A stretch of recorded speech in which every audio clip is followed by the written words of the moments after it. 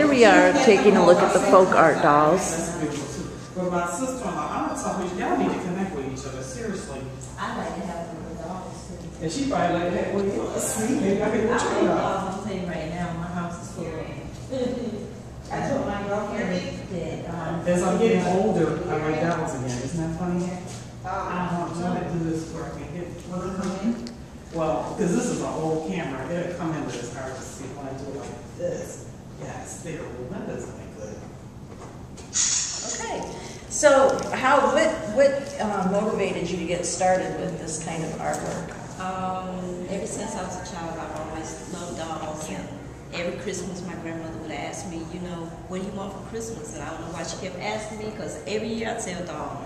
And I've always been fascinated with them. I love them. Wow. And I, um, I'm a shopper, I'm a thrift shopper. I went Goodwill one day and they had this little black skinned doll and it was falling apart and everything. And I only had like a little bit of money in my pocket, so I said, you know, I want this. So I take it up to the counter and they wouldn't go down on the price. And I said, you know, forget this, I'll make my own.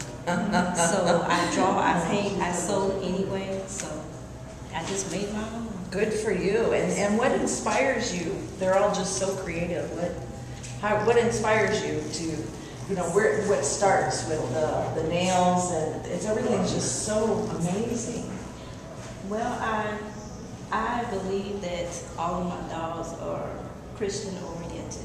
You know, everything that I am and everything that I do, I get it from that.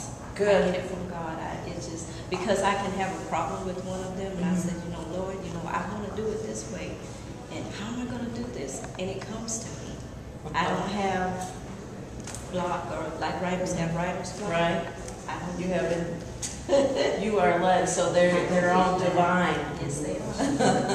I do believe that. That's awesome. Thank you. Okay, so all of her dolls are divine inspired. Yes. Thank you.